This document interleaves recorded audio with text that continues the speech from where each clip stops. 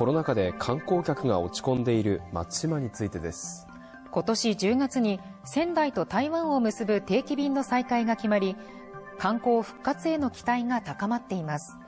そんな中忍び寄る第7波松島観光の今を取材しました。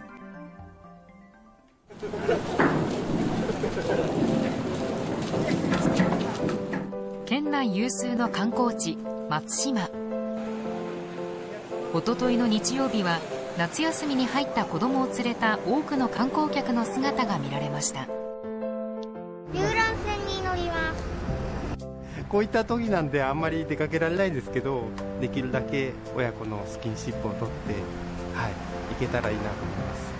1週間前、うん、来れるかななんて思ってはいたんですけど、うんまあ、何事もなく観光できる状態でよかったと思います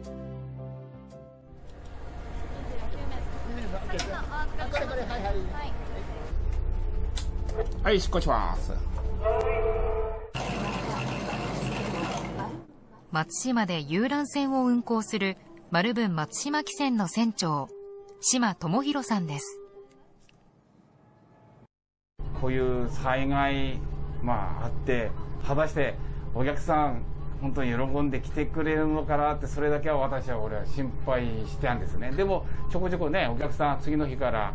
来てましたのであほあほっとしましたね。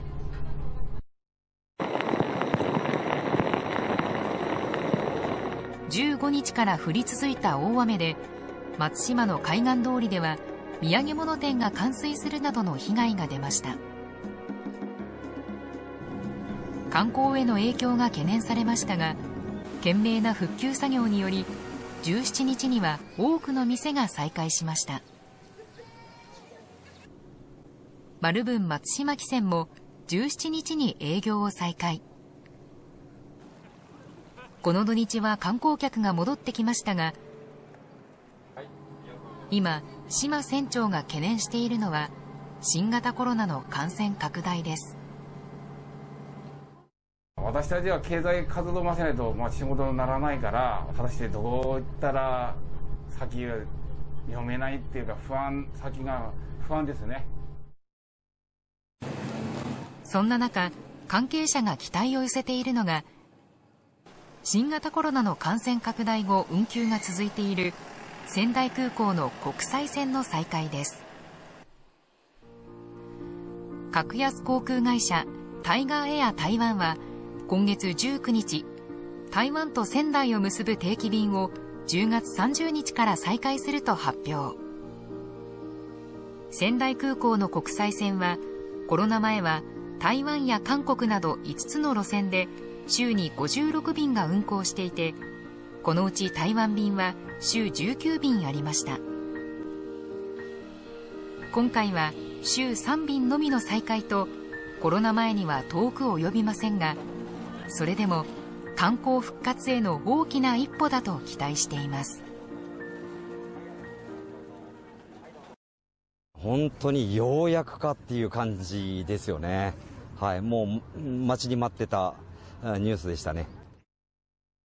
松島を訪れた外国人観光客は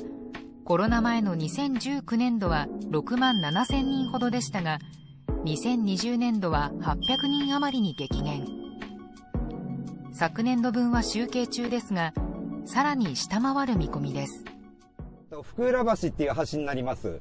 丸文松島汽船の矢部さんはコロナ感染拡大後も海外のツアー会社にオンラインで松島を PR したりツアーの資料を作ったりして国際線再開に備えて海外とのパイプをつなぎ続けてきました。高い壁がまだあるのでちょっと大変にはなってはいるんですけどもそういったところまでを踏まえてちょっと先方とやり取りはしておりました。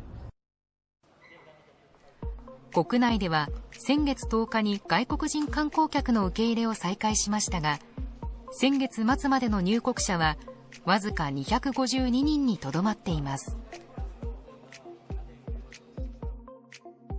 これまで不要だったビザが必要になったことや出国する3日以内に検査しコロナの陰性を証明する必要があることなどから出だしは低調でした。ただ今月以降の入国希望者は1万4000人を超えていて今後入国者はさらに増える見通しです。台湾便の再開で高まる観光復活への期待。関係者は忍び寄る第7波の行方を固唾を飲んで見守っています。もうやることは一つで、えー、ずっと従来変わらず、従業員の感染対策っていうものと、あとはあの設備、えー、船舶ですね、の感染対策、えー、そういったものを十分に、えー、今まで同様続けると。ちょっとでも期待持って仕事したいなと。いうふうに思ってはおります。